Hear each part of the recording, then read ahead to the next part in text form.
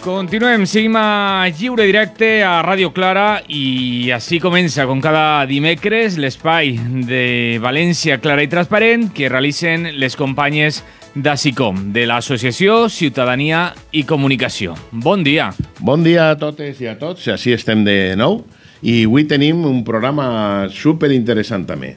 Avui fem el programa Francesc Fenollosa i Tem, que fa la píndola pel valencià, d'ASICOM i Tirant de Veu, David Vidal en la edició posterior i en l'estudi a Manolo Tocha, al control. Hola, Manolo. Hola.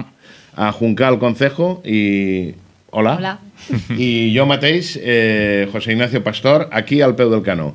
Avui, a més, en l'estudi, luego vos el presentarem, contarem a un visitant de luxe, Enric Rey, que des de fa molts anys ja dirigís la ràdio de la Vall de Segó, també coneguda com la Finestra de Rei, d'Enric.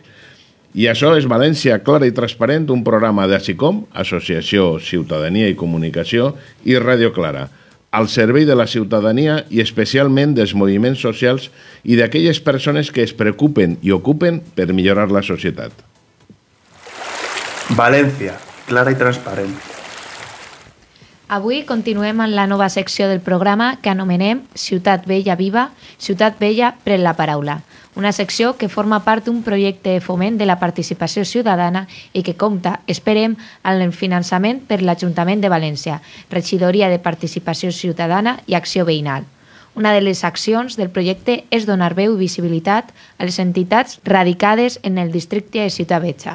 Avui xerrem amb Rodrigo Hernández Primo, responsable de Comunitat Valenciana de Save the Children. Hola, Rodrigo, ja està amb nosaltres. Bon dia. Bon dia. En Maite Puertes, de Plataforma Pobresa Cero. En Javier Monferrer Benlloc, de Cofidiva. I Enric Rey acabarà de la Finestra de Rei, Ràdio Vall de Segó. València, clara i transparent. València, clara i transparent. Clara i transparent. I transparent. I transparent. Anem allà i comencem xerrant amb Rodrigo eh, Hernández Primo. Eh, eres el responsable de Save the Children en la comunitat valenciana i sabeu que bueno, pues Save the Children és una, realitza moltíssima activitat. Conta'mos primer Conta'm algo tu. Com, com, com t'emboliques? Perquè, a més, crec que fa ja, farà 14 anys, en breu, que ja estàs al front de, de Save the Children. Sí, jo vaig començar a treballar en, en Save the Children ja fa molt de temps, no com a responsable. Abans eh, bueno, he sigut voluntari, després eh, monitor, educador, responsable de projectes, responsable de cooperació, i ara sóc el, el responsable de la comunitat valenciana, eh, que és el, el que me toca ara eh, fer. I el que, lo que fem així en la Comunitat Valenciana des de fa ja molts anys és treballar, treballar en els xiquets i xiquetes que estan en una situació més, més vulnerable. I com arribeu a aquesta situació, els xiquets? Com sabeu qui són els vulnerables i qui no? Qui us crida? Quan parlem de vulnerabilitat, nosaltres hem ficat el focus així a la Comunitat Valenciana. Tenim que dir que Save the Children fa 100 anys que treballa en els xiquets xiquetes en tota Europa, en més de 55 països, en tota Europa i en la resta del món, tant de països rics, on hi ha pobresa o vulnerabilitat, com a països en situació de, de desenvolupament o en, o en, en una crisi humanitària. Nosaltres sí, en, en la comunitat valenciana fiquem el focus en tres grups, principalment. Eh, el, els xiquets xiquetes que estan en situació de pobresa. Pensem que així la comunitat valenciana és un de cada tres xiquets xiquetes. Impre impressionant, perquè un de cada tres. Estem parlant de més de 300.000 eh, xiquets xiquetes en, en, i són dades oficials, és a dir, no, no estem inventant res. Qualsevol que, que miri l'enquesta de condicions de vida veurà que aquestes dades són les que, són les que són. També treballem en xiquets xiquetes que pateixen qualsevol tipus de, de violència. És, una, és un problema molt invisibilitzat, sobretot quan parlem de violència sexual. I per últim també treballem en xiquets xiquetes que estan en, en, una, en un procés migratori moltes vegades antigament coneguts com a, com a mena, són xiquets xiquetes que arriben al nostre, al nostre país sense referents familiars i que moltes vegades estan en, en unes condicions difícils. Eh, realment és impressionant les xifres de, de Save the Children en general, perquè eh, sembla que esteu 25.000 persones, diu la pàgina web vostra, en més de 120 països, no? Vull dir, quanta gent sou així en la comunitat valenciana? Així la Comunitat Valenciana, si contem només els treballadors, eh, serien més de 80 persones, depèn de, de l'època de l'any, i si parlem també de, de voluntaris, doncs, vora 200 en, molts pics que n'hi ha al, al llarg de l'any, n'hi ha molta gent col·laborant directament amb els xiquets xiquetes i amb les famílies on, on, en els nostres programes d'intervenció. Però nosaltres, encara que paguera mentira, eh, no només som una, una entitat d'intervenció, perquè això que quedaria molt curt. Nosaltres, en, en tota aquesta gent que treballa en tot l'esforç que podem fer, podem arribar a 1.000, 2.000 xiquets xiquetes al llarg de l'any, però com dèiem abans, n'hi ha 3.000 xiquets xiquetes que estan en una situació complicada a la comunitat valenciana. El que fem nosaltres, el nostre model de treball, així i en qualsevol país, és només, no només treballar directament amb aquests xiquets, sinó que, el que veiem, el que innovem, el que veiem que dona resultat, ho analitzem, ho investiguem, fem informes i ho escalem a qui té la responsabilitat de fer complir els drets dels xiquets i xiquetes, que són les administracions. Part del nostre treball és precisament el que analitzem, el que identifiquem, ho analitzem i ho escalem perquè per a que la política pública puga eh, fer-se càrrec. I ahir també tenim un, un paper fonamental els mitjans de comunicació, perquè el que no se coneix eh, no importa, sobretot a, als polítics. Aleshores, el, el paper que feu els mitjans per a sensibilitzar l'opinió pública, que això estigui a l'agenda pública, que el, la pobresa infantil o la violència contra els xiquets o la situació dels xiquets migrants siga una prioritat, gran part de, de, lo, de qui aconseguís que això estigui a l'agenda pública sou, sou vosaltres, per això tenim un paper fonamental en el nostre treball també. Com, i, i una pregunta ahí, perquè eh, bueno, primer estem encantats de que, de que hagis acceptat la invitació, que a més mm, anem seguint alguns, inclús som personalment, eh, col·laborem econòmicament, no, no queda algun temps, per ara mos faràs la crida, Gràcies. però el, la comunicació de Save the Children sempre s'ha destacat perquè bueno, pues feu uns projectes, els informes eh, tenen impacte, eh, però altra part que dius de lo que sigui el govern relacional, un govern obert que, que plantegeu dir, bueno, estem detectant això, que tu que tens responsabilitats eh, com a govern, que, com, com va ser diàleg, com va aquesta actuació? En part del nostre treball és, és parlar amb les administracions. N'hi ha administracions més receptives, n'hi ha administracions menys receptives, però és el nostre treball. Aleshores, el que tenim que fer és, sempre que parlem amb una administració, anar amb dades que siguin consolidades, anar amb, amb projectes, amb informes, amb dades, amb propostes que estiguin eh, aterrades, és a dir, no, no són ideals ni són, són coses que se poden fer o que ja estan fent en altres països i estan eh, basades en l'evidència científica. Aleshores, la, la nostra credibilitat front a qualsevol eh, poder públic radica precisament en la, el, el que fem, no, no és que pensem això, sinó que ho he investigat i n'hi ha molta gent en Save the Children que està, que està moltes hores treballant per a que les propostes siguin realitzables i siguin escalables. Això es dona certa legitimitat front als poders públics de qualsevol color polític per a que entenguin que el que estem dient és una posició política, és una posició basada en l'evidència. De totes formes, eh, en uns anys ha canviat molt i coses com que un polític, un ministre d'Hisenda negara l'existència de, la, de la pobresa eh, infantil o de la pobresa, això ja no es dona. Poden tindre matisos en com eh, afrontar-la o com ser més efectius, però estem aplegant a ser consens que ningú nega la pobresa, ningú nega eh, la situació eh, de violència de xiquets xiquetes tenim una llei, la LOPIBI, que varen impulsar des del principi de Save Children i que varen eh, aprovar en el Congrés dels Diputats a nivell nacional tots els partits, amb dos excepcions, una va ser Vox, eh, argumentant qüestions ideològiques, ahir sí, i l'altra el PNV per, per qüestions comp eh, competencials, però tota la resta del, de l'hemicicle va votar a favor. És a dir, no hi ha una... Ningú qüestiona que la violència contra els xiquets és un problema, ningú qüestiona que existeix la pobresa infantil, ningú qüestiona que la situació dels xiquets migrants eh, que arriben sols al nostre país és molt complicada. Aleshores, en aquesta base tenim que donar propostes que siguin sòlides i que estiguin basades en l'evidència. Home, jo crec que és eh, molt de reconèixer el treball que feu. A més, pertanyeu a algunes federacions de, de protecció d'infància a nivell... Eh, I a més, perquè, clar, eh, és donar veu a alguns que normalment els xiquets, la infància no té, no té veu, i a més la infància vulnerable encara menys encara, no? perquè a més s'amaga o dona vergonya, eh, no sé, i, i crec que el que s'ha avançat ha sigut gràcies a, a gent com vosaltres que, que, que sí, esteu ahí. Coses com la participació infantil, que és un dret que està reconegut en la Comissió dels Drets dels Xiquets de 1989, és un, és un dret, però és, estem molt lluny, estem molt lluny de que això es complisca. Eh, nosaltres el que fem és, en els nostres programes, de manera directa, tenim en compte la veu dels xiquets i també quan estem elevant eh, propostes als polítics estem tenint en compte la, la veu dels xiquets. Eh, és, és imprescindible perquè si no podríem caure en una espècie de despotisme il·lustrat, és a dir, tot per als xiquets però sense tenir en compte eh, l'opinió dels xiquets. Fent un, un triple salto mortal seria com fer polítiques de gènere sense tenir en compte l'opinió de les dones, que no tindria, no tindria sentit. Sí, a més, eh, la, llei, la, no, la nova llei de participació ciutadana de la Comunitat Valenciana, que a veure com se desenvolupa, pues se va aprovar en l'últim ple, arreplega aquesta participació també de, de la infància i dels joves, no? perquè és fonamental perquè, que, perquè ser ciutadà i ciutadana ja. No? El treball, o sea, els, els drets estan ahí, s'han aprovat, la nostra responsabilitat, i, i són seus, és a dir, els, els drets dels xiquets i xiquetes, el dret a la supervivència, el dret a la protecció, el dret al desenvolupament i el dret a la participació són els seus drets el nostre treball com a tercer sector i el treball de les administracions és fer que això siga una realitat. Quan més vulnerable és un xiquet, més lluny està de que aquests drets eh, siguin tangibles per a, per a aquest xiquet o aquesta xiqueta concreta. Aleshores, el que tenim que fer, i és el principi d'equitat, no és tot igual per a qualsevol, és el que estiga més lluny del compliment dels seus drets tenim que fer més esforç. Les beques escolars són això, és a dir, el que està més llunyà de tindre una situació de normalitat tenim que recolzar-lo per a que estiga en aquesta situació. Això és el principi d'equitat. De, Aleshores tenim que conjugar les dues coses. Els drets de xiquets, que són de tots, i el principi d'equitat tenim que fer ficar el focus en qui està més lluny del compliment d'aquest dret. Molt bé.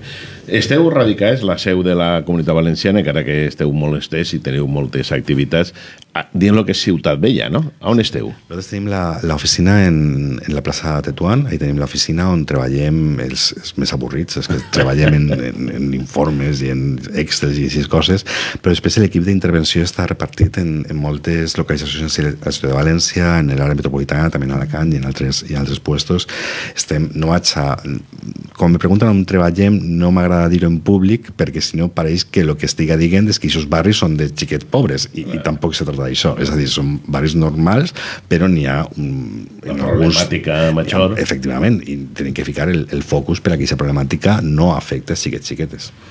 I bueno, com, com el posarem després en el vídeo i demés, però eh, dimos eh, com localitzar-vos, la web, com escriure-vos i sobretot fes publicitat també per a que la gent s'apunte, que, que és important. Jo no vull fer publicitat, és dir, el que recomano és que, és que qualsevol que estigui interessat veja en, en Google o en qualsevol buscador, en el cercador, busque el Save the Children, S-A-V-E-T-H-E, C-H-I-L-D-R-E-N, és un nom en anglès, però bueno, si fiques Safe en F també t'apareix en, en Google, no n'hi ha cap mena de problema. I ens ah, agrada molt que el nom és en anglès, però tu fas l'entrevista en valencià perfectament arrelada al nostre territori. Però igual que quan, efectivament, és a dir, és, és en anglès perquè, perquè la història de Save Children va néixer amb Englantine Jeb, que va ser una dona anglesa eh, que va començar a treballar després de la Primera Guerra Mundial per a, per a defendre els drets, per a ajudar als xiquets des que havien perdut la guerra. És a dir, des que estaven pitjor, des que estaven pitjor de, així, en Europa, en, un, en els països rics, després d'una guerra, com va ser la Primera Guerra Mundial. Per això se diu Save Children. No és, no és per altra cosa, però evidentment en cada puesto on estem pues, parlem l'idioma o treballem en, en, en l'accent, però no així. En Etiòpia tenim que parlar, no sé, és a dir... Eh, com toca. No, home, eh, en principi 55 milions de xiques i xiquetes ateneu d'alguna manera, o sigui que, que això és I una això varietat. És la, això és l'atenció directa, és a dir, és a dir quan, quan parlem de l'impacte de ser Children no, podes, no només tenim que mesurar l'impacte directe, que són això 55 milions per, per any, sinó també l'impacte que té canviar una llei o, o millorar un pressupost o canviar un decret o canviar una forma en la que un servei públic pot atendre a, a un xiquet, perquè ahir és quan ja portem aquests xiquets a escala. És a dir, te ficava exemple abans, nosaltres així podem treballar directament amb 2.000 xiquets. Que si posar, una... posar una vena a una ferida a una part d'una ferida. I però... això canvia la vida d'aquests xiquets, té Clar. un impacte directe. Clar. Però quan canviem una llei Clar. és que impacta en 800.000 xiquets. Clar. Quan canviem un pressupost, quan eh, millorem la renda valenciana, quan millorem l'atenció de xiquets que pateixen eh, violència sexual, estem eh, ajudant, estem impactant en 800.000 xiquets. Eh, Això és, lo, això és l'advocacy, que és una paraula així en anglès, que Sí. tu, és el lobby, però el lobby la gent ho entén com el lobby del tabaco, que això no, és que també pot haver un lobby bo. És a dir, Efectivament. és ser el Pepito Grillo de, yeah, això està passant, fes algo. Molt bé. Bueno, pues eh, de Save the Children i què, què més podries dir per a, per a animar a la gent per a que, que pugui tirar una maneta o si volen ser voluntaris o Jo que, aniré a, a la gent que vulgui conèixer-nos, que a la, que visiti la pàgina web, se li en qualsevol eh, cercadora i té la possibilitat de fer soci, però també de, de veure com pot eh, ser voluntari, de llegir els informes, evidentment tot el que produïm són, és gratuït, tots els informes que siguin un poquet més, més sesudos, per així dir, però també tenim escola de pares, i si vols parlar de sexe amb els seus fills, doncs tenim manuals, o tenim vídeos, o tenim molts materials que poden ser, evidentment, d'interès per a les famílies, per als professionals, per als polítics, i tot això està a la pàgina web. Ahí està la informació de lo que fem en emergències, de lo que fem en guerres, de lo que fem en València, de lo que fem eh, de les nostres peticions. I si després de mirar tot això algú li agrada i vol interessar-se per, per treballar amb nosaltres, també hi ha les ofertes de treball, també està com ser voluntari i si no tenen temps o tenen ja treball, està com eh, poden eh, ser socis també. És a dir, totes les possibilitats estan ahí. Però primer, que llisquen el que fem. I si, i, si, I si els agrada, si estem alineats, després ja poden col·laborar.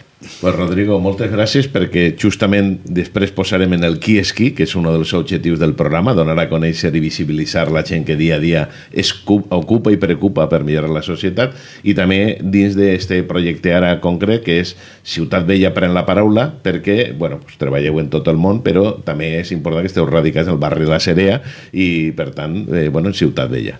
Moltes gràcies per vindre i mantenim en contacte. Qual, qual, a la vostra disposició sempre i moltíssimes gràcies per, per donar-nos veu. Molt bé, gràcies. Ara mateix escoltes València, clara i transparent. Anem ara amb l'agenda SICOM València clara i transparent. Fins al 26 d'octubre a les 6 i mitja tots els dijous psicodansa a la plaça del Pilar, a València. Organitzen, perdó, organitzen els amics de, Betu, de Lluters i col·laboren l'Ajuntament de València, la Junta Municipal de Citavetxa i Amics del Carme. Veurem l'oratge perquè el dijous sembla que tota la setmana anava a ploure i de moment no plou, però veurem. Fins al 25 d'octubre també teniu les festes populars de Patrais, que sabeu que eh, bueno, pues ha estat així el seu president i és patrais.org, teniu tota la informació. Fins al 26 d'oc- d'octubre, l'acceleradora de creació de contingut en valencià, una oportunitat única per a desenvolupar les teues habilitats en la creació de contingut i promoció en la nostra llengua. Ten hi ha un curs online el dijous de neu a les 5 i mitja el mòdul de ferramentes, softwares, model lingüístics, ús de la IA. I el 26 d'octubre a les 5 i mitja també el mòdul organitzatiu, finances, contra contractació amb administració i creació de projectes socials. Del 16 al 24 d'octubre, és a dir, estem enmig de, del festival Cinema Ciutadà Compromès, és el novè festival i teniu tota la informació en la pàgina de Asicom, asicom.org, en la pestanya Festival ZZZ. Eh, avui mateix eh, n'hi ha projecció en el centre d'octubre, eh, el cap de setmana, bueno, demà eh, i després demà teniu en la xarxa d'amics de Belluters i Car Revolta projecta pel·lícules diverses que inclús con, contarem con la presència de la Societat Cultur Crítics per a parlar de No mos callarem, que, que és sobre Baltònic i altres rapers condenats i vos animem a seguir tota la programació en la pàgina asicom.org.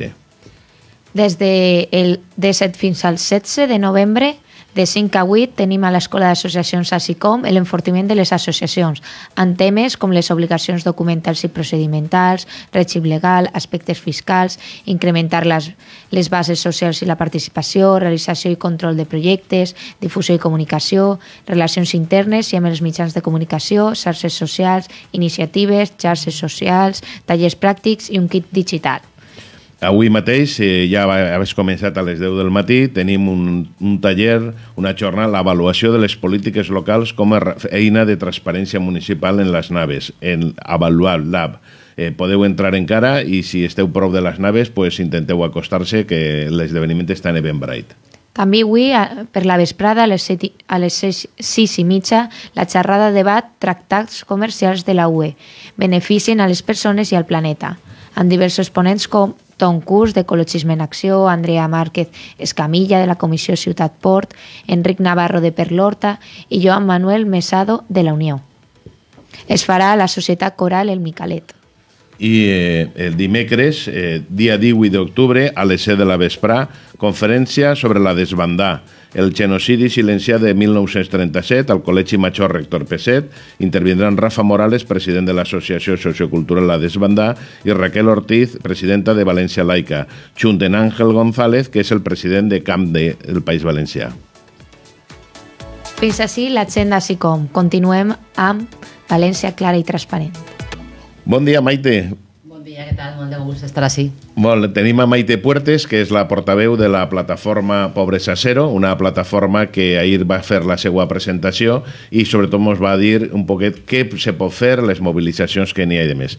Conta'm, Maite, què és això de, de Pobresa Cero, la plataforma? Pues a veure, Pobresa Zero és un moviment que va néixer a l'any 2005 i a nivell internacional es, es, es diu Global Call Against Poverty, que és un moviment que el que tracta és de reflectir les desigualtats que n'hi ha en el, en el món eh, i, i demanar un canvi de model i, i demanar incidència i, i a, a, fent incidència política i fent sensibilització ciutadana.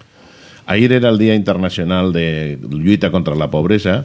Eh, que, quines dades teniu eh, com més impactants de què és el que està passant en el, en, en el món no? I, i en el nostre territori? Pues a veure, les dades són espeluznants, no? En el món, el 10% de la població, que es diu Pronte, que a vora 700 milions de, de persones, estan en el, lo que es diu extrema pobresa, que, que és pues, gent que no pot, eh, no, no pot dinar, no pot menjar, no, pot- no té accés a l'aigua potable, no té accés a, a, a, a, la, a la sanitat. Eh, és una pobresa pues, que pues, y me, pasa, me, me pasa el castellà perquè m'expresse millor i me sa fatal, Vale, pero es, vale. una, es una pobreza que, que destroza, que rompe, ¿no? porque es una situación, estamos hablando de, de personas que muchas veces su, su, su índice de índice de, vida no, no supera los, los cinco años. ¿no? Eh, Se mueren muchísimos niños por causas que son absolutamente y totalmente evitables en el siglo XXI. Eh, casi 100 millones de personas desplazadas por cuestiones de, cambio climático, por desastres naturales y por conflictos. Y aquí no podemos dejar de hablar de, de lo que está pasando en Gaza estos días. Es una situación terrible donde todavía no se han, no se han abierto corredor- corredores humanitarios y donde hay una población que está siendo pues, prácticamente masacrada. ¿no? Y desde aquí, pues de Pobreza Cero también se acuerda y los tiene muy presentes en, en esta semana. Otros datos que, también son muy impactantes es el hecho de que en el mundo cientos, más de 150 millones de niñas y de niños, y lo dice la Organización Internacional del Trabajo, trabajan. Y trabajan no es que trabajen ayudando a los papás en un fin de semana, ¿eh? no, trabajan expuestos a, a, condiciones climáticas adversas, a productos químicos, manejando sustancias que no deberían. Son niños y niñas que ya por, esa condición de niños trabajadores hipotecan su futuro de por vida. Les estamos ya cercenando la posibilidad de ser personas plenas en, en el futuro. Y así podríamos seguir dando cifras que son absolutamente espeluznantes. Aquí en, el Estado español, pues casi 10 millones de personas están rozando esos, los niveles de pobreza y en la comunidad valenciana también se ha, subido al 27%, como nos decía el informe de APN son cifras eh, absolutamente que, que no, nos tienen que golpear, absolutamente intolerables. Y desde la campaña Pobreza Cero lo que pretendemos es lo que estaba comentando al principio, poner el foco de atención en estas personas. De hecho, el lema de la campaña este año es cada persona enrere, ninguna persona detrás, todo, las personas por delante de las políticas. Y lo que pedimos es eso, voluntad política real para propiciar los cambios que sabemos que no son fáciles, no somos ingenuos, pero sí que son posibles. Y esos cambios van por un, un cambio de modelo que teniendo las personas por delante pues empieza a poner eh, cuota a los paraísos fiscales, a los mal llamados paraísos fiscales. Nos gusta más referirnos a ellos como guaridas fiscales. Que, eh, que, haya un sistema impositivo donde los que más tienen paguen más, eso es, eso es evidente, porque sin impuestos no se pueden atender las necesidades de las personas y de los colectivos más, más vulnerables. Además, es necesario que las empresas transnacionales que tienen los puntos de producción en lugares donde no se respetan los derechos humanos laborales y ambientales, se les empiece a exigir esa responsabilidad porque es necesario y absolutamente preciso que se cumplan ese tipo de derechos. Y eso solamente se puede hacer con voluntad política y con una comunidad internacional que realmente exija a los países y exija a las transnacionales ese tipo de responsabilidad. No es fácil, sabemos No, que no, no, es fácil, claro. pero no podemos dejar de pedirlo. Clar, és que eh, eh, lo que se demana realment és una redistribució de la riquesa, però clar, la redistribució s'està fent al revés. Cada vegada els rics són més rics, les empreses guanyen més diners i n'hi ha més pobres, perquè la xifra que dones en la comunitat valenciana del 25%, dius, són xifres de, de mire, de cada quatre persones una, una d'elles és pobra en aquest moment, però pobra no és una qüestió de que no molts recursos, és pobra. Entonces, com, com plantegeu aquest tema de, de polítiques? Vull dir, que, que, perquè, clar, ahir sols pot ser, per una banda, els àmbits del govern i els àmbits internacionals, perquè moltes vegades és un tema que supera i sí que teniu un enfocament des de la plataforma molt del treball internacional. Que, que, quines mesures o què coordinació n'hi ha en altres països per a treballar eh, el tema? A ver, nosotros lo que, lo que trabajamos desde la plataforma es una campaña de incidencia que obviamente la centramos aquí porque es donde, donde estamos ubicados, pero lo, que hacemos es con esa visión internacionalista pedir que se, que se trabaje en los, eh, a nivel pues, de eh, Unión Europea, a nivel la Confederación Internacional de Sindicatos, o sea, eh, presionando para que este tipo de cuestiones que estaba poniendo sobre la mesa se traten en los espacios y en los foros donde se tienen que tratar, para tratar de evitar en la medida de lo posible que estas situaciones en las que estábamos comentando se, se- se lleven a cabo. Sí que es cierto que hay, pues tenemos el paraguas de los, de los ODS, por ejemplo, pero bueno, mm, se van a cumplir, va a llegar la- el 2030, o sea, el 2030 de la famosa Agenda 2030. Que, y- fal que falten sis anys a soles. que no falta nada, o sea, y, y van- y se van a haber cumplido, pues no, ¿no? Entonces lo que hay que hacer es, sabiendo de todas las dificultades con las que contamos, seguir incidiendo y seguir llamando a la gente para que, para que se manifieste, para que acuda a los actos que hacemos, para que esté en la calle, para que nuestros gobernantes sepan que no nos da igual, que no se puede hacer, o sea, que no les damos carta blanca con un voto cada cuatro años, sino que vamos a estar ahí un poco pues monitoreando y, pendientes, igual que ahora vamos a estar pendientes del proyecto de presupuestos que, se, que estaban a punto de presentarnos para ver realmente que, los acuerdos que habían previos a, las elecciones de mantener la cooperación internacional al desarrollo, de subir lo que se da en AOD, por ejemplo, se mantenga y no, y no se dé un paso atrás en esos derechos, en ese recorte de derechos. Ayer tuvimos la presentación de, la campaña este año, en el Día Internacional para la Erradicación de la Pobreza, y nos acompañaron dos personas defensoras de los derechos humanos en Colombia y en Centroamérica. Y nos pusieron, aparte de, de contarnos cuestiones impactantes, nos pusieron eh, otra vez encima de la mesa la, la necesidad de seguir contando con fondos de cooperación internacional al desarrollo, porque estas hum- organizaciones humanitarias y defensoras de los derechos, si no fuera con este tipo de, de cooperación internacional, no podrían funcionar.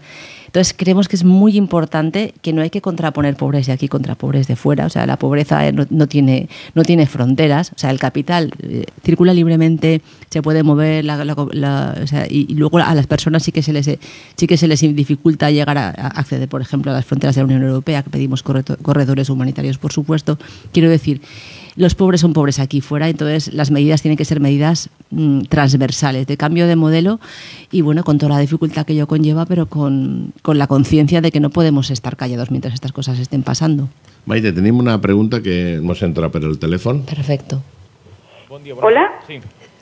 Hola. Hola, hola. Sí. Hola, buenos días. Mira, eh, precisamente es que como, como veo la, el que estáis hablando hoy con el tema de la Semana contra la Pobreza, quería preguntarte si vosotros en, este, en, este, en estas actuaciones eh, contáis con las personas afectadas. A lo mejor te puede parecer un poco alucinante que te pregunte esto. Te lo pregunto por una cuestión en concreto. Eh, Desde hace más de siete años hay unas personas que se, todas las semanas se concentran en la plaza del ayuntamiento de sillas contra el hambre y esas personas yo no veo para nada que los planteamientos que esas personas lleven están recogidas en vuestro comunicado. Lo digo porque lo he leído, ¿eh? Lo he leído el comunicado, si no, no hablaría.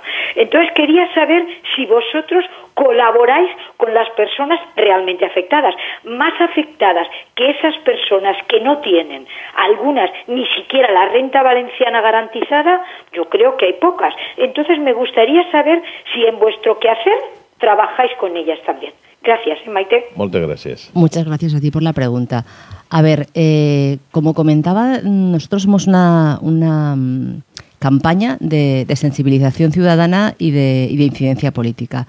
Esta campaña mm, y esta plataforma se compone por un montón de, de entidades, asociaciones, sindicatos, eh, entidades religiosas, enti- ONGs, ONGDs que trabajan directamente con las, con las personas que están en situación de, de vulnerabilidad Y, y desde, desde el quehacer de estas entidades que conforman la campaña, obviamente se atiende a, se atiende a las personas que lo necesitan. Sí que puede, puede ser que se nos escape al- algún, algún matiz, algún perfil a la hora de, de componer el manifiesto, que se compone además de manera coral, con un montón de participación de entidades y de personas. Pobreza Cero es una campaña abierta a la participación tanto de asociaciones como de personas individuales de la sociedad civil. Entonces, de- desde aquí hago un llamado a todos aquellos que quieran, a todas aquellas personas que quieran y que se les apetezca participar y, y de nuestras acciones eh, contribuir a la, creación del manifiesto que presentamos todos los años y que y que y ver que también sus reivindicaciones son, son contempladas que acudan a acudan a nuestra sede que está abierta. La campaña no sé si lo he dicho nació en el 2005 auspiciada por la coordinadora valenciana de ONGDs ONGDs para el desarrollo y que tiene la sede en la calle Moroceid y está abierta para, para todos, eh, tanto vía telefónica como vía presencial. Y a partir de ahí, como digo, la campaña funcionamos con, con personas que trabajamos y que nos desempeñamos en otras entidades y que lo que hacemos en Pobreza Cero es a nivel totalmente de, de militancia y de compromiso voluntario y está abierta para, para todos. Dicho lo cual, mm, también repito el carácter más internacionalista de nuestra campaña que pone el foco y que queremos poner el foco en esas desigualdades que hay, que hay en, el, en el mundo. Porque, mm, porque queremos que, que los países donde hay personas en situaciones como la que me defi- definía al principio, de, pobreza extrema eh, son muchas veces esas las más olvidadas y creemos que es necesario que, aquí también en los países eh, en los países eh, en los que estamos más, de- más desarrollados entre comillas pues podamos podamos acordarnos de ellas. Mm, dicho lo cual una cuestión no, no quita la otra y yo de verdad te invito a que participes a que colabores a que conozcas lo que hacemos y que, y a que te dirijas a la coordinadora de ONGDs y a partir de ahí pues que entres a formar parte de la campaña si te apetece y te sientes cómoda con, con nosotras Muchas gràcies, eh, Maite. Com, com està comentant Maite, eh, la, la campanya i totes les entitats que, que la pertanyen treballen en aquest doble sentit, pensar localment i actuar globalment i pensar globalment i actuar localment, perquè eh, com moltes vegades se veu que està tot interrelacionat.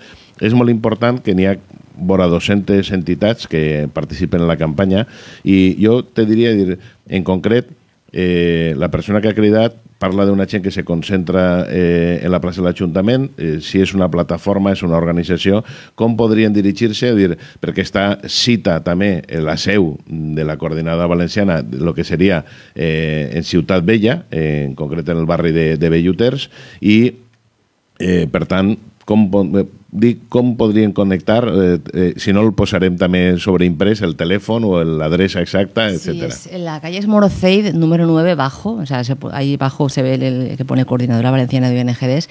Y el teléfono está accesible desde la página web de la coordinadora, es el 96 391 37 49. O sea que. Molt bé. Físicamente, telefónicamente, por correo electrónico también. O sea que. Eh, N'hi ha que dir que tota la gent, jo hi vaig estar també, com, com així com, en la presentació, tota la gent que forma part de la plataforma eh, són gent multiactivista o turboactivistes, podríem dir, perquè tenim una agenda complicada, per la qual cosa qualsevol persona que vulgui tirar una mà, benvinguda, perquè com dia Maite, pot ser eh, col·lectius, entitats, associacions, sindicats o persones a títol individual, perquè tota força, tota pedra fa paret, no? Así es, tota- totalmente. que, que contamos ahora que les grans movilitzacions que n'hi ha en cada... Així tenim una manifestació per al dia 21. Sí, estaba escuchando decir la agenda y digo, ahí falta lo nuestro. Sí. Entonces ahora, ahora os lo. os lo- posat, però no sé què ha passat. Nada, nada, pues Está posat, està. Ah, sí. Ah, que no m'ha plegat. No, que no m'ha plegat. Ah, vale, vale. Estàvem encara en el dia nada, de, sí. 18 de neu. Así lo digo yo. Así lo- Molt bé, molt bé. Explica-ho. Pues a ver, tenemos diferentes actos a lo largo de todo el territorio valenciano. Eh, hay una concentración en Elche este viernes a, la- a las 5 de- y media de la tarde en la, en la Plaza de Baix de Elche, a la que pues, invitamos a todo el mundo que pueda acudir, que acuda. El sábado por la mañana hay otra concentración en Alicante, en la Avenida de la Constitución, frente al, al Mercado Central. A què hora? Mm, a las 12 horas, 12. a las 12 del mediodía.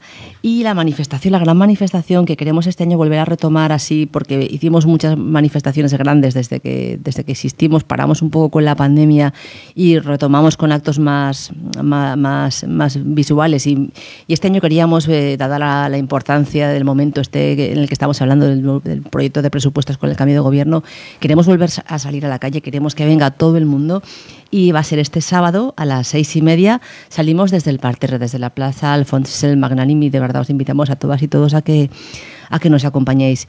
Y luego, por último, hay otro acto en, en Castellón, que va a ser el martes de la semana que viene por la tarde a las 7 en el espacio cultural Menador. Es un acto de encuentro de experiencias reales de transformación y ahí pues todas las personas que estén interesadas pues estarán invitadísimas a acudir a, ese acto y a, debatir con nosotros porque al final mm, el cambio el cambio que nosotros pedimos a los, pues a los grandes gobiernos y a las corporaciones internacionales también tiene que empezar de manera individual hemos de ser capaces de cuestionarnos mm, qué café tomamos por la mañana o qué ropa nos ponemos, de, de dónde viene el textil que consumimos, de dónde viene, o sea, la huella ecológica de los productos eh, de alimentación que, compramos, ¿no? Igual no hace falta comer kiwis de Nueva Zelanda, por ejemplo, ¿no? Entonces, ese tipo de, cuestiones de, cambio individual son mucho más importantes de lo que a veces podemos pensar. Y una ciudadanía mm, empoderada y unos consumidores conscientes de lo que compran, de lo que consumen y de lo que implica esa conciencia, pues es un paso muy adelante a la hora de, de cambiar las cosas. O sea, poco a poco, pero siempre adelante. pues Maite, apleguem al final. Eh, moltíssimes gràcies per vindre, perquè són uns dies que tu, a més, tens pluriocupació també. I, I, bueno, pues esperem que siga tot un èxit les tres concentracions i la campanya que puguem ajudar a transformar. Perfecto, nos vemos en la calle el sábado. Molt bé, vinga. Ara mateix escoltes València, clar i transparent, en la freqüència 104.4 de l'FM. També després en podcast i vídeo. Bé, continuem amb la segona part de l'agenda ASICOM. Seguim en el 18 d'octubre a les 6 i mitja, Tardors de llibres, presentació de la novel·la gràfica Maria la Jabalina de Cristina Duran i Miguel Ángel Giner Bou, editada per Astiberri. Es farà als jardins de l'Ajuntament, Casa Bou, carrer Major 2, en Rocafort. El dijous de 9 d'octubre, a les 10 hores, concentració amb, contra els tractats del comerç i inversió negociats per la UE que només beneficien a les grans empreses multinacionals. Lloc, el portal de l'hotel València Palace eh, de València, Passeig de l'Albededa 32. El dijous de 9 d'octubre a les 7, actuació poètic-musical Conversaciones entre Azorín i Lorca, al lloc de la Sala de la Muralla en el Rector Peset. També avui també demà a les 7, la conferència Temps d'Elda en temps de batuda d'Enric Valor, 40 anys per Vicent Brotons Rico, professor de la Facultat d'Educació, Universitat d'Alacant. Es farà al Museu del, Cal al Museu del Calzado, Avinguda Chapí, 32 a Elda. També del 16 al 19 d'octubre, jornadas de, de, jornadas de derecho a la defensa en Guatemala, con el proyecto de visibilización y, de, y defensa de actividades de derechos humanos en Guatemala. El 18 a les 6 en el CMRP, lucha y resistencias de abogados defensores de los derechos humanos en Guatemala ante las amenazas y la imparcialidad del Poder Judicial. Y el, y el 9 de octubre a les 6 en la sede FXJ, exposición de casos y elaboración de estrategias para la protección, el derecho a la defensa. Fundació per la Justícia. Eh, del 19 al 20 d'octubre, jornades comunitàries per l'alimentació, la salut i la transició ecosocial. Eh, és un programa del dia 19 eh, anem al mercat, visites escolars, també per la vespre les mans a la massa, tallers de cuina saludable, eh, tenim també eh, una gran activitat de, eh, respecte a alimentació, sabers comunitaris per a la transició ecosocial el dia 20 i vos posarem la informa, tota la informació que organitza Plataforma per Rusafa. El divendres 20 al diumenge 22 d'octubre, la trobada de joves sobre cooperativisme en finances ètiques i energies renovables. Una convoivivència d'un fin de setmana des de el divendres 20 d'octubre a les 7 fins al diumenge 22 d'octubre després de menjar, on es farà a l'albergue rural La Surera d'Almedíjar, en la Sierra d'Espadán, en la província de Castelló. Totes les inscripcions són, grati són gratuïtes i, orga i organitza Red en Clau i col·labora el grup Jovens Fiare i el grup de joves de Som Energia Madrid. I finalment en este tros d'agenda, dissabte 21 d'octubre a les 6 i mitja de la vesprà, manifestació contra la desigualtat i la pobresa, com us ha contat eh, i ha explicat eh, Maite, no, eh, Maite Puertes. Cap persona enrere, pobresa zero, ara. L'eixida es farà des de la plaça Alfons el Magnànim, el que és conegut per el parterre. Dissabte 21 d'octubre. Bé, continuem en les entrevistes i el xerrem. Benvingut, eh, Javier Montferrer Benlloc. Bon dia. Bon dia. Eh, ell és vocal, és coordinador de, del grup de treball d'ocupació i finances com a vocal de Codifiba, i també és un, el tècnic de comunicació. Eh, eh, Codifiba és la coordinadora de persones con diversitat funcional física de la comunitat valenciana. Venen també, estan radicats en lo que seria eh, Ciutat Vella i eh, en concret en el pati de Frigola, al costat de lo que és el conservatori de, de Viriato, eh, la plaça Viriato. I, eh, bueno, pues ve a comentar-nos, pues benvingut Javier i contamos eh, què és, lo que, què, què és això de, que feu la coordinadora, quins són els vostres objectius, que, com, com, com esteu funcionant? Hola, buenas. Eh, bueno, parle en valencià. Eh, nosaltres som la coordinadora de persones amb discapacitat o diversitat funcional física de València, de la comunitat valenciana. Eh, portem molts, molts anys, des de l'any 1985 o 83, i la missió és clara, la missió és la integració de la persona amb diversitat funcional eh, en la societat, una plena inclusió. Nosaltres, eh, per un costat, eh, donem, donem tràmits als programes, eh, servicis com logopeda, fisioterapia, teràpia ocupacional, eh, treballadora social per ajudar a, a tramitacions d'ajudes o, o d'aquestes coses que són importants, però també pensem que la persona amb diversitat funcional canvia un rol, canvia el rol d'un rol mèdic basat en la medicalització de la persona amb discapacitat com una persona eh, subjecta a, a necessitats d'ajuda i d'apoyo a una persona independent, no? I en aquest sentit tenim uns projectes que la missió és clara, és la inclusió i la normalització de la diversitat funcional en València, que tenim una ciutat que és plana, està molt accessible i pot ser un, un nucli important per a, per a les persones amb mobilitat reduïda. I pots contar algun projecte que ara està, que ara està al carrer o... Sí, doncs tenim, tenim diversos projectes que són, tenim 6, 7 projectes, tenim per exemple eh, i Ayudo, que és una aplicació eh, ficar en contacte persones amb necessitats i voluntariat. En el sentit de que en geolocalització, paregut a Tinder, les persones que se... Sí, fa gràcia, però sí, eh, que tinguin necessitats de puntuals puguen eh, contactar amb persones que puguen ser voluntaris puntuals. Perquè la gent jove no és menys solidària que antes, no. El que passa és que la gent d'ara està més ocupada que la gent d'antes, no. Antes no hi havia tantes ocupacions, estudi, vaig a calle, la societat és molt competitiva, tenim que anar a la universitat, prendre notes, m'apunta a l'EOI, pam. I dius, no, no tinc temps per comprometre'm a estar de voluntari eh, tota l'esprada d'un dijous, perquè potser venen exàmens i no puc. No? I a lo millor en aquesta aplicació el que tu pots és postular en els teus moments lliures. Molt bé. No? I també la novetat i la cosa important és que la persona amb discapacitat pot ser voluntària, és a dir, per què no? Pot ser una persona voluntària d'una altra o d'una persona major, no? Molt bé. Després tenim també... Perdona. No, no, eh, molt, molt, és molt interessant el que feu i a més, bueno, pues, el propi Javi Montferrer, el vegeu que és una persona que s'ha empoderat, que, que, que està treballant en una eh, com vocal, però a més és un tècnic de comunicació i, i bueno, pues, eh, exigís i, i bueno, és gent que està treballant en unes llines molt, molt interessants de normalització eh, i d'accedir a oportunitats. A mi m'ha sorprès molt, eh, molt, molt gratament, per lo que dius, perquè esteu avançant en la societat. I, per exemple, el, el canal de YouTube que teniu és un canal superxulo i que, a més, bueno, pues, per exemple, tot el que és l'educació emocional o, o inclús les relacions sexuals, algo que normalment estava amagat en la societat, pues, mm, són necessitats també de les persones que tenen una disfunció, no? Sí, això és un altre projecte que també tenim, que és, eh, és connexions íntimes. Estava buscant la traducció, no? Connexions íntimes. No, connexions íntimes, sí. I, claro, i el que fa és, és molt important, perquè la sexualitat és, ja és tabú de per si, no? Ja és un tema prou tabú de per si, i més encara per a les persones amb diversitat funcional.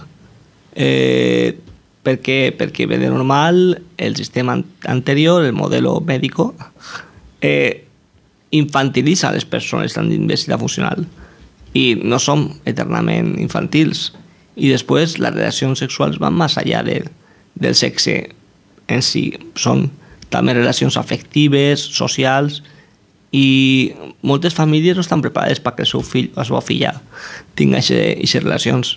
Pot ser que sembli eh, fort el que diré ara i estrany, però fins l'any 86, crec que era, en els Estats Units eh, era legal fer practicar eh, esterilitzacions forçoses a xiques i a xics adolescents amb discapacitat, no? I estem parlant dels Estats Units, que se suposa que és el paradigma de, de tot lo bo i de que, a més, pues, en l'any 80 i algo, o sea, allà al costat. I, i claro, és, és important educar en aquests aspectes també, no? Jo, per exemple, eh, estic casat i moltes vegades pues, també la meva dona parla de mi, però no parla de mi, no parla de mi, de, ah, estic casat amb un xic de discapacitat, no, estic casat, no, estic casat. I a vegades veu una foto, ai, mira, ai, pobre, i tal, no? I, claro, o, o te pregunten, a mi me preguntaven a vegades, tens nòvia, tal, així? I va en calle de rodes i jo dic, sí, fent carrers com el Mario Kart. No, no va en calle de rodes, però, però per què té que anar en calle de rodes, no? I, I crec que és una temàtica molt, molt important. Crec que... Això... Ai, perdó, Eh, eh? no, pregunta, pregunta. Sí, això està molt estigmatitzat, no? La gent amb discapacitat o amb disfuncions ha d'anar amb gent no? amb discapacitat. És com estrany i és una cosa que hem de normalitzar avui en dia. Sí, sí, a més, ja, inclús en els, en els mitjans de comunicació. Eh, crec que va ser en First Dates que va, veure, va haver molt de debat perquè van juntar dues persones invidents no? o alguna així, o, o dues persones amb discapacitat en una taula, vull dir, no, no és un programa que jo veig molt, per això no, no me sé eh, la parella que era, però sí que sé que la parella tenia discapacitat en si. I jo crec que, que no, que la discapacitat de més, vale, la discapacitat és un terme molt negatiu, perquè som l'únic col·lectiu que ens denominen del nom que no volen que ens denominen, és a dir, perquè no estem faltos de capacitat, sinó que fem les coses de forma diferent, per això diversitat funcional, que no és un sinònim, sinó és un filosofia, una filosofia tota.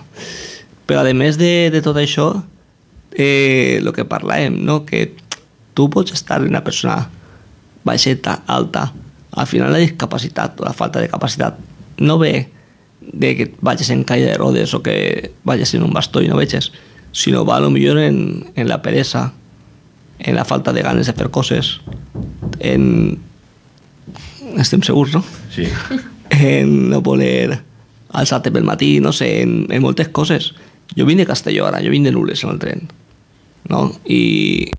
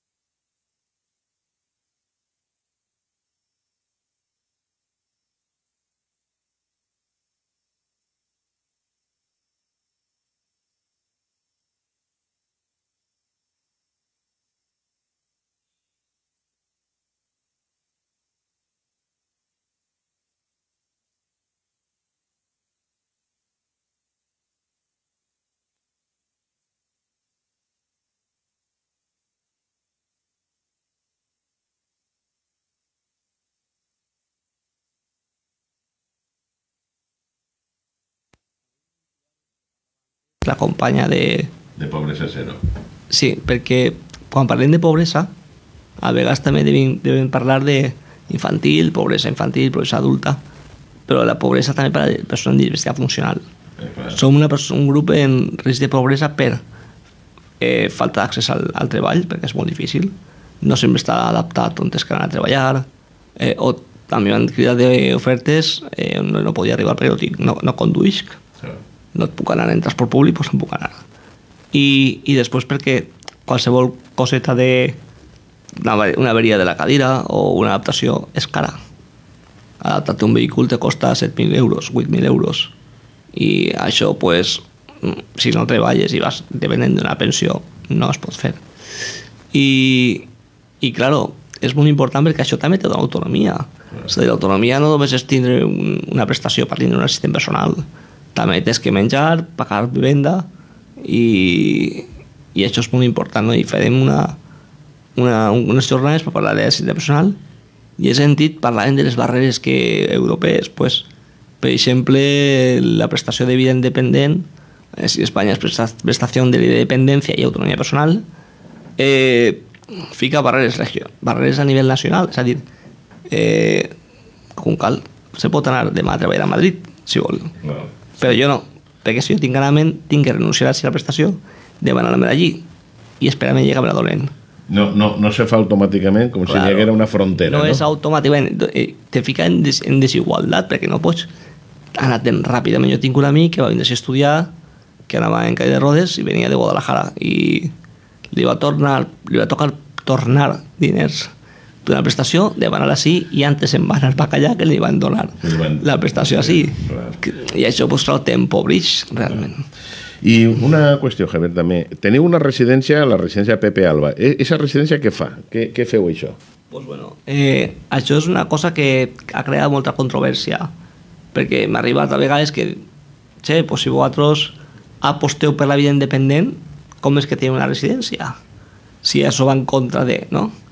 Jo crec que la vida independent s'ha d'ofertar, però també s'ha d'ofertar residència, sentit de que tot té cabuda en este món, en este mercat, o però la residència el que té la particularitat que a mi és l'únic que lo, lo, algo que me que m'agrada i que veig que, que té raó de ser és que és una residència que no és una residència qualsevol és la residència Pepe Alba que està en el centre de València a la carrer Concòrdia, darrere del Palau de la Generalitat proper de, de la Mandrágora que és un restaurant vegetariano i què passa allí? Pues que estàs en el centre de València te possibilita viure, no és una residència que estàs en... Al marge o en la- Exacte. Clar. I té diversos horaris de menjar, tant de sopar com de, com de menjar, eh, i n'hi ha un cert nivell de, de triar menú, de triar coses, de poder eixir i fomentem la vida d'independència. Una persona d'allí eh, té accés a les formacions que nosaltres fem i si una persona d'allí vol participar en vol intentar ser independent, pues, li, li demanen la prestació sense ningú problema i, i se l'ajuda en la OBI. Quanta gent teniu ara en la residència? Quina cabuda té? poqueta, una vintena, perquè són tres, és un, un mini... És un mini palaciete. Es un puesto muy bonito que si no fuera porque a- ahora con el tema del COVID, que ahora ya no hi ha tant de mesures, però bueno, però sempre estem en l'aire que ve Claro, i que no ve, claro. és visitable i és molt, molt, molt bonico. Hem d'acabar, Javier, perquè avui mos estem passant, que m'has començat més tard, però jo sí que te diria eh, com se pot contactar amb vosaltres, eh, la pàgina web, ho posarem tot luego en el vídeo, però eh, un telèfon, és dir, com contactar en, en Codifiba. Pues nosaltres estem, tenim la web que és codifia.org, tenim de redes socials que utilitzem habitualment, com és eh, Facebook i Insta, Instagram, que és Codifiba, i tenim el número de telèfon que és el 963 31 08 54. Estem en Patios de Frigola i esteu atents a les redes socials perquè, a més d'estos events, tenim possiblement també la presentació de Cultures Vida, que Cultures Vida és un projecte que naix de necessitat d'anar a- al cinema o al, o al teatre i hem creat un portal on la persona amb mobilitat reduïda abans d'anar al teatre pot veure com veure el teatre, on està el puesto per la calle de rodes, si pot fer compra d'entrades online o la té que fer allí, on podrà més o menys aparcar, com és l'aseo, perquè, clar, si jo vaig en un xic, puc entrar a l'aseo, però si vaig en una xica, a què aseo entrem? Eh, són mixtos, no són mixtos? Tinc que entrar antes d'entrar? I on podem trobar aquesta informació? Pues això està en, en la pàgina que, que eh, pròximament presentarem, que la presentació per, se fa. per ara en codifiba.org per ara en codifiba.org i també en les redes socials. Parlarem de la, de la presentació que serà el 20, sí, crec que sobre el 26 o 28 de- d'octubre farem la presentació en el Centre Cultural del Carmen pues eh, anunciarem el tema perquè crec que és superinteressant dir-vos que bueno, pues està en patis de Frigola 3, Baix, barri del Pilar o Belluters, districte Ciutat Vella que en aquests moments són més de 800 socis, les persones associades a la coordinadora, i pues, moltes gràcies per vindre. I A vosaltres. Tenim una pregunta, eh, de totes formes, no? Val. Eh, bé, pues, eh, moltes gràcies per vindre i continuem en contacte, Javier. Gràcies. Eh, passem ara eh, lo que ens falta de l'agenda i a Enric Rey. Ara mateix escolta, ara mateix escolta València, clara i transparent. Transparent. Continuem amb l'última part de l'agenda SICOM. El diumenge 22 d'octubre, la segona marxa a peu de Bétera fins a Portacelli, per a donar a conèixer i recordar el camp de concentració franquista. El 21 i 22 d'octubre, també la segona jornada d'art rupestre sota el títol Art rupestre, conservació, medi ambient i medi social, al joc de Vall de Gallinera. El dimarts 24 d'octubre, de 10 a a una y mitja, el seminari ¿Se puede ganar dinero financiando la cultura? El joc, la Facultat d'Economia al Saló de Graus. El dimecres 26 de, 25 d'octubre, de 7 a 8 i mitja, trobava, trobada dret d'accés, dret a saber. El dret constitucional d'accés dels grups socials als mitjans de comunicació. Experiències audiovisuals innovadores al Centre, de al Centre del Carmen de Cultura Contemporània. Finalment, divendres 3 de novembre, a les 7 de la vesprà, presentació de Desviades, normalitat gay i anticapitalisme queer, per Pit, eh, Peter Draker. Eh, el lloc, la repartidora en Benicala, Benimaclet. Del 2 al 5 de novembre, el Festival Cultural Internacional Butón i Fes, que tindrà lloc en el Centre del Carmen de Cultura Contemporània. Esteu molt atents a aquest festival, que vindrem el dia 25, perquè, a més, eh, la nostra col·laboradora, eh, eh, Juncal, pues és, eh, forma part de l'equip. I el dissabte 18 de novembre eh, és la nit, a les 6 de l'esprà es comença la, 20, la vintena nit Escola Valenciana, és que lliurarà el Premi Josep Vicent Garcia a la trajectòria individual, el Premi de Ús Social del Valencià i el Guardó Extraordinari, al Centre Cultural El Teular, la plaça del Teular en Cosentaina.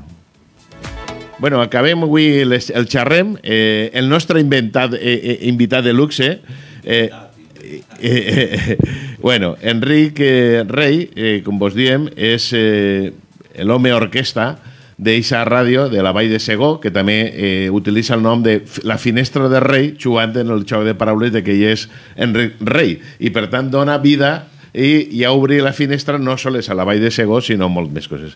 Enric, benvingut. Gràcies. Bueno, Gràcies. conta'm perquè ja mos havien conegut en uns tallers que fem de ràdio associativa des de SICOM per associacions i la veritat és que tu eres incombustible, permanent, i treballador i demés. Eh, ja havíem estat així, en aquell taller, en Ràdio Clara, ja fa uns anys d'això, i conta'm com, com se t'ocorrís i, i com t'has li- embolicat a fer ràdio, perquè a més la teua ràdio té quasi més mitjans que, que així, eh? Bueno, no en detalls, el que passa que eh, aparenta, no? Aparenta. No, bueno, la, jo crec que un dels responsables de que jo estigui així eres tu, no? Perquè jo, pues, bueno, també sofrís, no?, lo del, lo de l'invitat anterior que has tingut, eh, i vaig tindre una dolència important en l'any no- en l'any 2008 i la meva professió habitual pues, se va trencar, no? Me va trencar. I, però me vaig recuperar d'aquest problema de salut i com me trobava prou bé, vaig crear una associació de veïns, perquè jo no puc estar parat. En Faura, no? En Faura. Aleshores, aquesta associació de veïns havia sigut una pinqueta controversia en, en el poble, perquè un poble menut en una associació de veïns, això, això és complicat, no? I, bueno, i al temps, al temps vaig rebre un correu que me vas enviar tu, supongo, o algun de Gasicom, que si, si algú volia fer un taller de, de com crear una ràdio en podcast, no? I, bueno, jo vaig preguntar, no tinc ni puta idea. Aleshores, jo puc anar i, home, això es tracta, no? I vaig estar ahí uns dies amb vosaltres en la universitat i ja no puc parar. Eh? Ja no puc Eh, això, parar. això és un verí, eh? Això és un verí. Això és un, un, un polvorí, això és un polvorí. Què tipus de ràdio? Conta, conta, conta la gent que m'ho està escoltant. Què tipus de ràdio feu en, en els mitjans que tens? Perquè a més emet, emès per internet, no? Sí, sí, és exclusivament online, no, no per ones, no? perquè ja sabeu lo complicat que és això, no? I me vaig tirar al davant a fer podcast, eh, vaig comprar un micro, una gravadora i tal, i vaig arrencar ahí, i, bueno, primer vaig començar en entrevistes, però després ja a poc a poc havia anat fent tertúlies, Més audiovisual també. i al final pues, faig audiovisuals i, i vaig que siga el, el clàssic músic este americà que porta un bombo, uns platillos, un, una flauta i tot això. Eso Manolo sap algo d'això també. Eh? Sí, sí, sí, sí, sí. Eh, I bueno, eh, acaba, acaba el dia, acaba de fer pols i dic, demà no vull fer res, però no. Eh, al dia següent al tall estic, no? Molt bé. Bueno, pues jo crec que, que ara escoltant gent, inclús eh, Javier que continua escoltant crec que té, bueno, ja he vist que, que dius, ja, ara xerrem, perquè, bueno, igual te fitxa també per fer algun programa de Codifiba. Sí, sí, jo, jo com, com acaba de dir, quan ve l'acabament del dia, dic, demà ja no faig res més. Ja, ja se m'està avançant, ja se m'està avançant.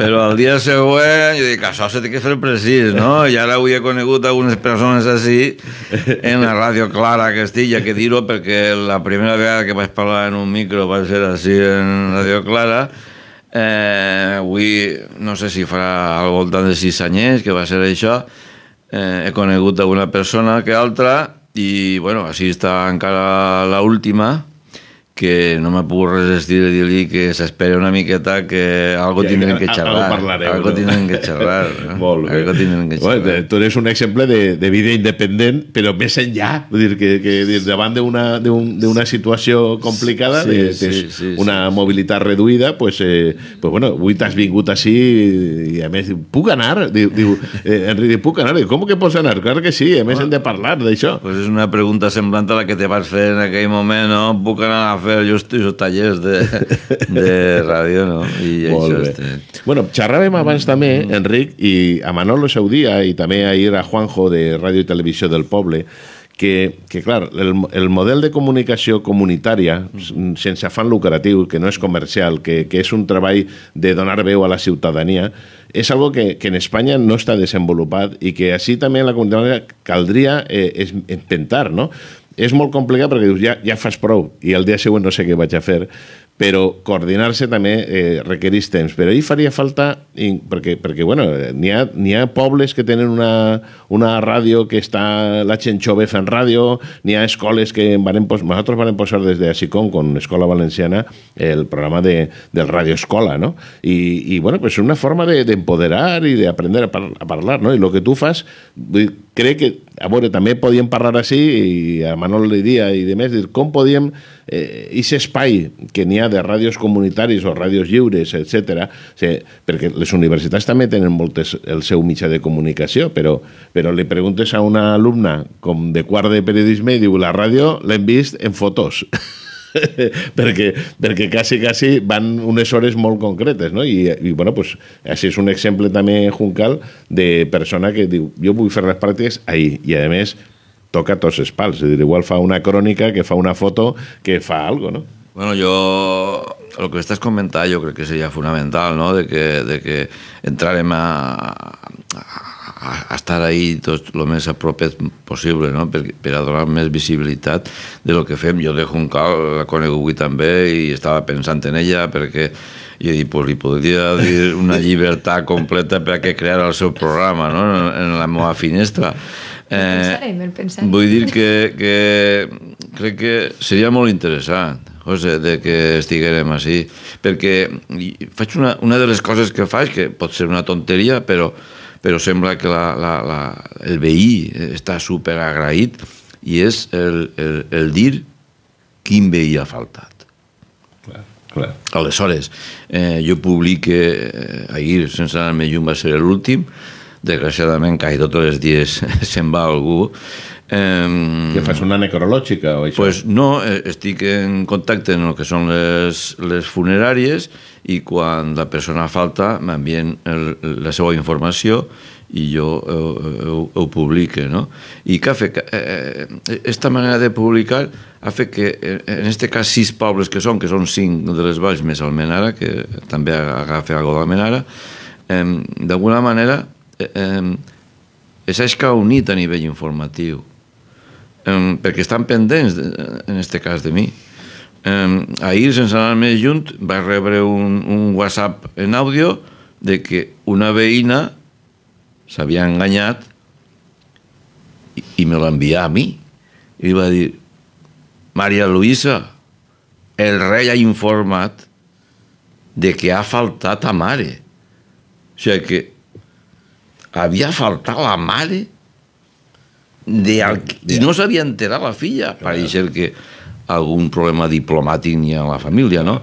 Clar. Però que vull dir que que tan simple com aquest tipus d'informació... I si a més qui informa d'això és el rei...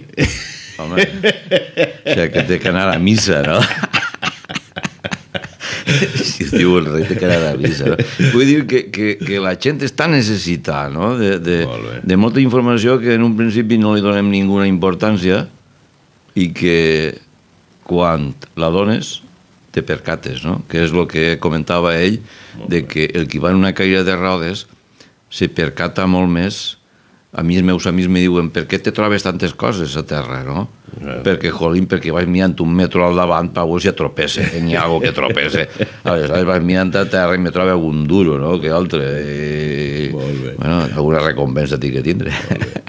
Enric, eh, estem avui passats de temps de, Ja, de ja, tot, ja, ja. Però, però no vull que tanquem el tema sense que digues com se pot eh, sintonitzar, no? en este cas, com, en quina web, com se pot veure, perquè tu tens un canal de YouTube, tens sí. també un, un espai web, eh, cont, conta-mos i així que pugui la gent veure el, el gran treball que fas. Sí, bueno, jo, jo vaig a començar en el, en el projecte com Ràdio Vall de Segó, eh, perquè els pobles de les valls més almenara són la Vall de Segó, eh, però, clar, jo sempre m'emporte darrere el bolser ple de ferramentes i allà on vaig d'excursió pues, eh, l'aprofite.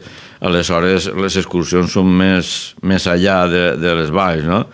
I... Quan dius ferramentes, que dius? Dos el micro, la gravadora i tot, no? Exacte. I, i, i, la, i, el, i, el, I el vídeo també. I, clar, no, no sé què me semblava fer publicacions de que no foren de les Valls o de la Vall de Segó i me semblava una barrera psicològica i, i ara pues, eh, aprofitant la conjuntura de que jo el meu projecte de la web és finestres, finestres, finestres i el que és la finestra ella ho sabrà de que moltes hores passem darrere d'una finestra per problemes de salut eh, pues, eh, eh, entrant per la web o bé Ràdio Vall de Segó o bé la finestra mèdia la La finestra, finestra mèdia. mèdia Eh, Sense punt ni res. no, la finestra media eh, punto, punto, punto es, eh? o sea, una web, eh, la web. Eh, poden entrar a lo que és el projecte de, de ràdio, no? Molt bé. Que, que tinc i, Molt bé. i allí estic. Molt bé, pues José, moltíssim... José Ignacio, apropa-li el micro, que crec que... Ah, sí, sí. que vol- és, que, és que no dona pa més. Jo m'arribe jo. Espera, te, te, te, No, puc, puc jo. Tranquil, mira, vos tinc motor. Ah! No, que té raó el que, lo que diu Rei i lo de la finestra i tal, que per desgràcia sí que hi ha molta gent que, que passa el dia a la finestra. Hi havia un llibre d'un xic que era, crec que de Nules, que era desde mi ventana, que era de, de que la ventana. A mi no passa molt això perquè ma mare sempre diu que si cau el techo no me pillarà en casa. quan era solter jo, jo eixia més, inclús quan estudiava eixia més que el camió a la basura, tots les, totes les nits. Però, però sí que és de veres que, que sí que hi ha molta gent que, i sobretot també si juntem la discapacitat de la gent major Mm. per la soledat de la gent major no desitjada i aquestes coses que són molt, molt. Clar, per això que estàs comentant, per exemple, tinc un canal de difusió per WhatsApp i els veïns majors de, de majors pues, se, registren i rebre allí les, les meves publicacions pues, ho agraeixen perquè no són usuaris de- d'ordinador i el WhatsApp pues, sí, perquè la filla li demana que el fill el porta a la guarderia aleshores pues, si aplega una notícia de les meues pues, resulta més, més fàcil que puga, que puga veure no? I això. Bé, jo, jo encantat de que, no sé... A veure, com, a veure què fem, eh? hem de, hem de inventar-nos alguna Sí, l'ordenador, no, eh, el carro no pot parar Clar. eh, i, i, i Sí, té que estar... Eh, els, els, els majors de les poblers diuen que si el, el carro fa soroll és que està en marxa, no? Molt bé. Bé, apleguem així al final, de, mos acomiadem fins al dia 25. Tenim ara, vos deixarem la píndola pel valencià, píndola que eh, avui, eh, bueno, com sabeu, la fa sempre Francesc Fenollosa, és la píndola de com feta per Tirant de Veu, i eh, avui pues, la, la píndola tracta distints temes, com, per exemple, el que seria la ràdio digital a l'aula, com eh, seria eh, el tema de Cisjordània, eh, que sempre n'hi ha un tema de com pronunciar bé, i també eh, bueno, pues tenim altres eh, elements dins de la, de, la, de la pròpia píndola. Vos deixem en ella i moltes gràcies i mos continuem veient el dimecres bé. Salut. Adeu. Adeu. Gràcies, eh? Píndoles pel valencià, una col·laboració de Tirant de Déu per a València clara i transparent. Bon dia, amigues i amics de Píndoles pel Valencià. Avui vos parlem des de la Vall d'Uixó, una població de la comarca de la Plana Baixa, eh, el meu poble en concret, en el qual hem vingut a fer així, a l'Institut de Secundària eh, Botànica Vanilles, un projecte que porta per títol Els valors de la ràdio. Es tracta d'un projecte interdisciplinari de valencià i filosofia, el producte final del qual serà un podcast de ràdio. Treballarem els valors ètics fonamentals a través dels gèneres radiofònics i tot el que vos pugueu imaginar també. Oralitat, lèxic, treball en equip, etc etc. El projecte dura 14 sessions de dues hores per a cadascun dels segons de l'ESO, a raó de 4 hores a la setmana. El que farem així justament avui serà un taller d'introducció a allò que podíem anomenar ràdio digital a l'aula. I treballarem, per tant, molts aspectes, és a dir, tant ferramentes per a enregistrar àudio, per a enregistrar les nostres veus, però també com treballar aspectes musicals, eh, efectes sonors, obres de teatre, etc etc. Un projecte, per tant, que ens agradaria poder exportar a moltes altres poblacions i molts altres centres educatius. Píndoles pel valencià. Però avui també volem presentar-vos un web que hem trobat molt interessant. Es tracta de gastronomia salvatge, cuina amb plantes silvestres comestibles, quines són, com cuinar-les i què ens aporten. I en concret, com que som a la tardor, doncs hem trobat aquest article fantàstic sobre els lledons caramels, diu així, de tardor. Sobre que els lledons són comestibles i tot l'ús que se n'ha fet tradicionalment d'este fruit de tardor, eh, com consumir els lledons, com fer fins i tot una melmelada de lledons i informació de curiositats i altres aplicacions. Però sí volem centrar-nos justament en l'aspecte nutritiu, en els nutrients, i ens diu que, com molts altres fruits de tardor, els lledons són molt rics en vitamina C, ferro i potassi. I diu que, com que són dolcets i passen bé, sembla ser que en la postguerra en donaven als infants per evitar estats de desnutrició. Per tant, ja ho sabeu, gastronomia salvatge, per a trobar informació sobre cuina amb plantes silvestres comestibles, quines són, com cuinar-les i què ens aporten. Píndoles pel valencià. I com que, malauradament, continua el conflicte entre Israel i Palestina, doncs volíem parlar-vos avui de la pronunciació d'una de les franges. L'altre dia vam parlar sobre la franja de Gaza i avui volíem parlar-vos sobre Cisjordània. Cisjordània, que es pronuncia efectivament així, en valencià. Cisjordània, la C per descomptat, i la J davant de la O, cap problema, Cisjordània. Això volem comparar-ho amb altres paraules que també porten J si busquem al diccionari normatiu valencià, així tenim, per exemple, la paraula jazz. Escoltem-la. Jazz. La J davant de la E. Jet. La J davant de la I. Jim. La J davant de la O. Joc. I, finalment, la J davant de la U. Junt. Doncs ja ho sabeu, hem de dir sempre Cisjordània en valencià. Índoles pel valencià. I bé, això és tot per aquesta setmana. Recordeu, gastronomia salvatge, Cisjordània i el projecte Ràdio Digital a l'Aula. Salut i bona setmana. Índoles pel valencià, una col·laboració de Tirant de Veu per a València clara i transparent.